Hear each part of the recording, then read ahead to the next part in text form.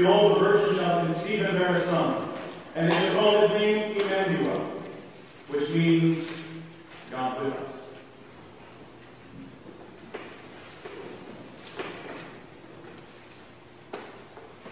I have just one question this morning.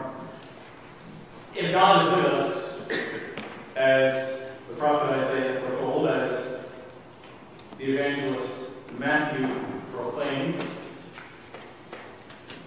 where is he? Where is God? We're God with us, Emmanuel. But where is he? When terrorists attacked our nation over two decades ago now, where was God? As people jumped out of burning multi-story buildings, where was it?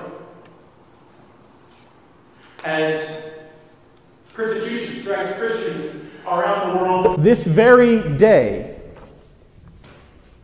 where is God? As tragedy strikes Christians, sometimes it's financial tragedy as people lose their jobs and don't know what's going to happen next. Sometimes it's medical tragedies as illness comes. And not just the kind of thing you go see the doctor, you get a prescription, and 10 to 14 days later you're feeling better. But illnesses that change lives, that take lives. When accidents happen in planes and trains and automobiles, and lives come to an end far too soon, where is God? As homes are broken by divorce, abuse, infidelity, as people's lives are destroyed by drugs and alcohol and addiction, as our world seems to be spiraling further and further away from things that make sense to a free for all of whatever you want is acceptable. Where is God? The prophet says, God with us, Emmanuel. The evangelist says, God with us, Emmanuel. But where is he? He hasn't stopped all the bad things from happening. He hasn't made our lives perfect and easy. Christians still struggle. There are people at home and even here in this building who may be struggling right now or who were struggling just recently.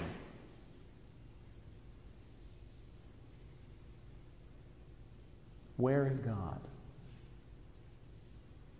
The scriptures proclaim God with us, but where is He? Why isn't He intervening? Why isn't He making all the problems going away, go away? Sometimes it just begins to feel like God has turned His back on us. Have you ever felt that? Have you ever wondered that? Where is he? Why isn't he doing something? Has he turned his back on us?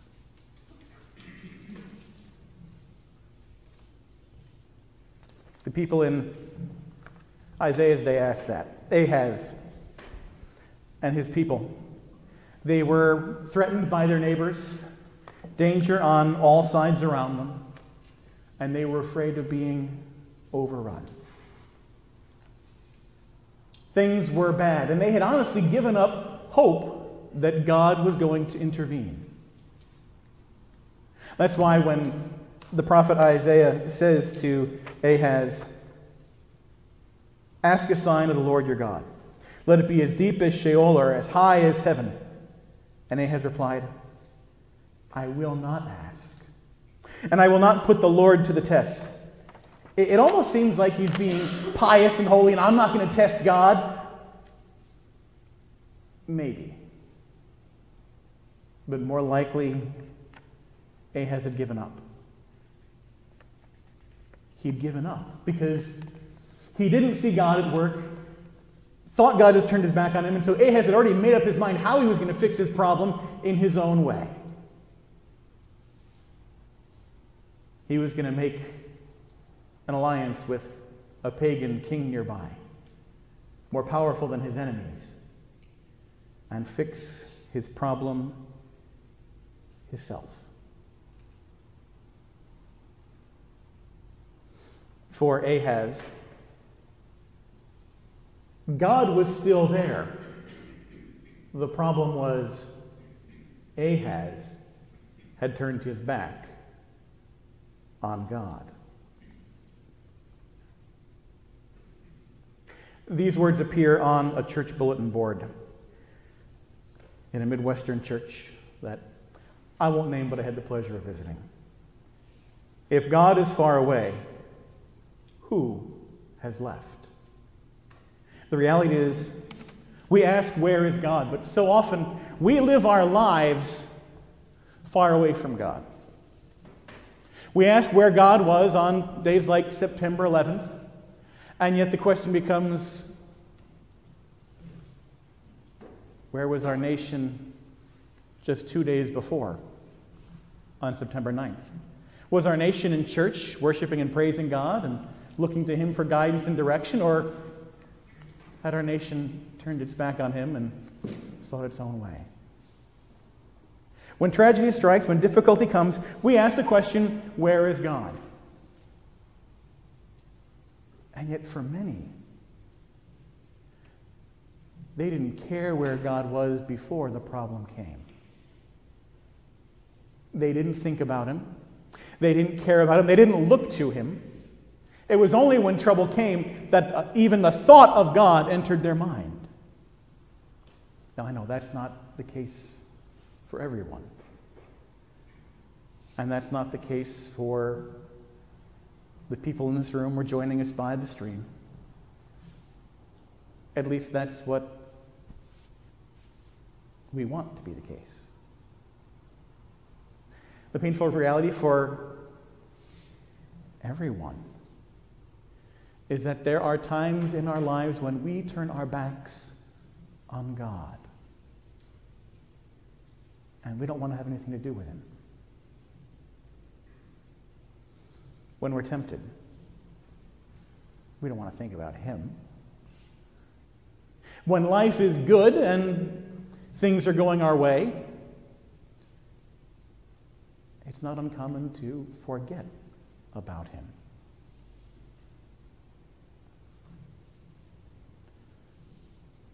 The reality is,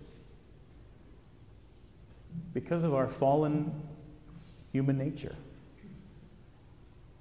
every day we turn our backs on God and walk away from Him. If not in our actions, then in our thoughts, in our words, in our hearts. And only when the trouble comes do we begin to say, Where is God?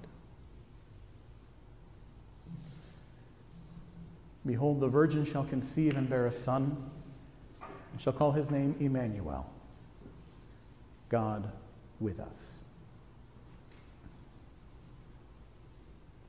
The truth is, approximately 2027 ish years ago,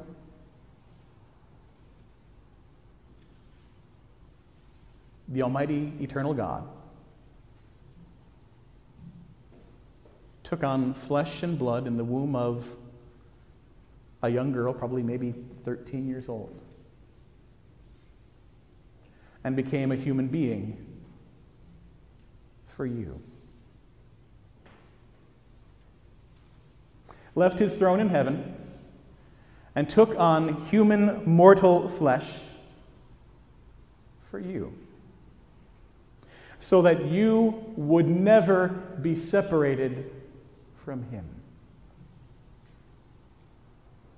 In the incarnation of Christ, which we're going to celebrate in a week, God bound himself to humanity. And he bound himself to you in holy baptism. Where is God? That's the question when trouble comes. Well, here's a question for you Where's the baptismal font? Where is it? See, a few people kind of like, it's hidden right now, isn't it? Right now, we had this beautiful Christmas tree, and again, thank you to the folks who cut it down, who decorated it, who did all this work. But way back here, and Andy's probably going to lose me on the camera. Way back here behind the tree is the font. You might not be able to see it, but it's still there. You might not realize it, but it's still there. We not, might not be using it at this exact moment, but it's still there. And there at the font by water and the word, God bound himself not just to humanity in general, like he did in the incarnation, but there by water and the word, he bound himself to you. And assured you, promised you, guaranteed you that Emmanuel isn't just God with us, it's God with you. And just like the font may be hard to see right now, sometimes it's hard to see God at work. When tragedy strikes, when trouble comes, when you're enduring hardship and pain and loss, it's hard to see God. But He is there. Every time a member of the body of Christ speaks a word of concern, a word of care, a word of reassurance, Christ Jesus speaks to you through them. Every time a doctor heals, a police officer helps, an EMT saves. Christ Jesus works through them. Every time you lift up prayers for a brother or sister in Christ who's, in, who's suffering or in need or in pain,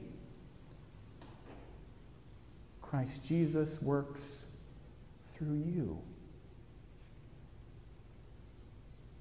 There are times in life when it's hard to see God at work. We question whether He has a plan. Is He even there? And yet, God has assured you. He is always with you, working for your good, to bless, to help, even when life is difficult, even when pain and loss and trouble comes. He is there with you, beside you bringing you through that day and the next and the one after that.